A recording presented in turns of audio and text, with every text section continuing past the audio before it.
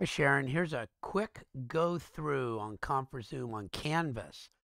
So uh, once you have your ConferZoom thing accepted and set up, you should see a ConferZoom thing here. And then uh, this should show up. And so there's some sort of uh, settings or something. If this doesn't show up like this for you, then you'll need to get a hold of IT and get them to give you some help in setting that up.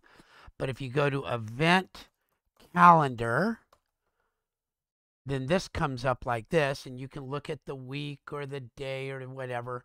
Uh, and then you can either quick launch one, that's what Anna Maria does, just right before she does that, or you can schedule one. So you schedule it and give it a name.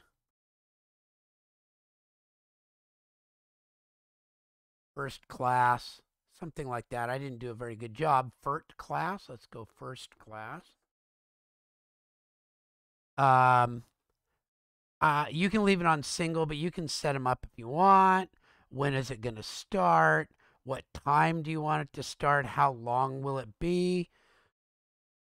And then you just click on um, save. And it should show up. Um, there it is. It just showed up. And I think it shows up for your students. So your students would go to ConferZoom. You just tell them, all right, go to ConferZoom, and they'll see something like this, and they'll click on it. I think that's how it works. I don't use it all the time, but that's how it works. The other way that Anna Maria does it is she does a quick launch. And then it's up and running. Open. Okay, where did it go? There it is. And join with my audio. And all this stuff comes up, and you can invite people. And so you can just copy the invite link and put it in Canvas for them in an announcement or something like that. And then they can all get in. And uh, here's how you do the security, chat, share screen, things like that, what they're allowed to do.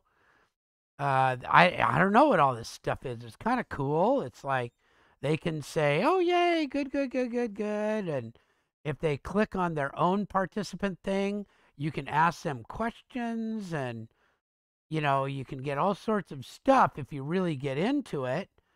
But um, there it goes. That's that's the quick way to get into it. And what anna maria does is she does that. She does one and then she goes to the invite. She copies the link and posts it into the announcement on canvas. So that's the quick way to do it